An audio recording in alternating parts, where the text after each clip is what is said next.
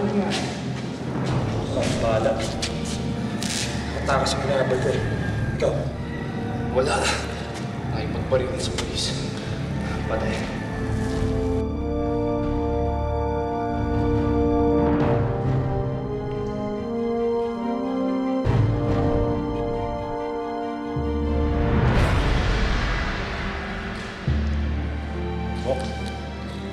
Mukhang tinamaan ko yung hinahapin ko.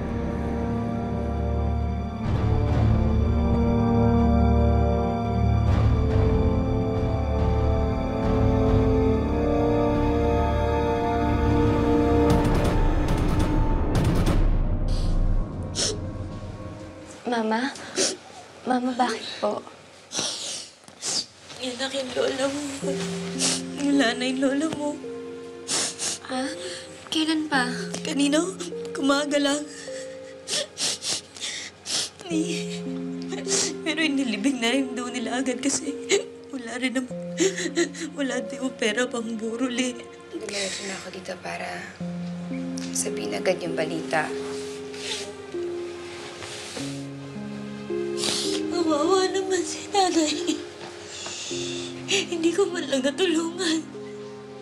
Hindi ko man lang nahawakan. Hindi ko man lang naalagaan. At wala na ang nanay. Hindi na kailangan magtiis dito. Alam ko na alam niyo ang ibig kong sabihin.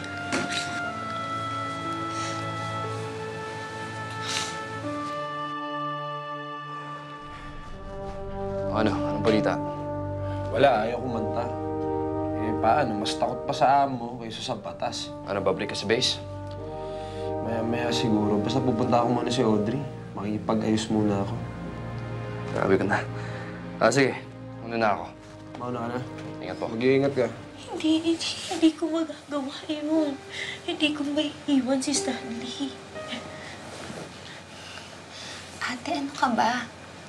Wala na ang nanay, oh. Hindi mo na kailangan magtiis sa Stanley yan. Alang-alang kay nanay. Ma- mahal ko si Stanley. Asawa ko siya. At alam kong mahal rin niya kami. Inaapi niya kayo, ate. Ano ka ba? Hindi na siya ganun, hindi ba? Hindi na siya ganun. Nagbago na siya, hindi na niya kami sinasaktaan. Hanggang kailan? Paano may problema ulit kayo na pagdadaanan, ha, ate? Paano kung biglang mainit na naman ang ulo niya?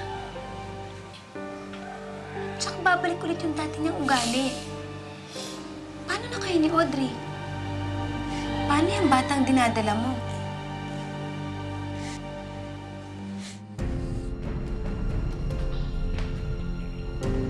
Anak? Okay ka lang ba? Ano nangyari sa'yo? Ha? Okay ka lang ba? Okay lang ako, Nay. Sigurado ka? Hinihika ka ba? Na namamawis ka eh, ha? JR, tingnan mo itong kapatid mo, oh. Tol, ayos ka lang. Ayos na ba? Parang hinihika eh. Gusto mo ba daligyan namin sa ospital? Iinom ko lang gusto ng gamot. Tol, sigurado ka ba? Ayos na ako. Tol! Sinabing ayos lang ako eh.